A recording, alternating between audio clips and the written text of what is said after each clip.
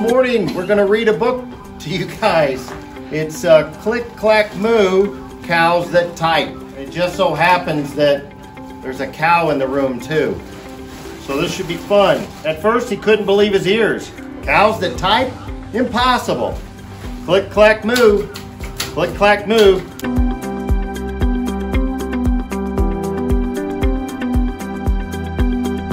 They'd like electric blankets. Sincerely, the cows. Burr! Moo! cried Farmer Brown. In the background, he heard them. Click, clack, moo.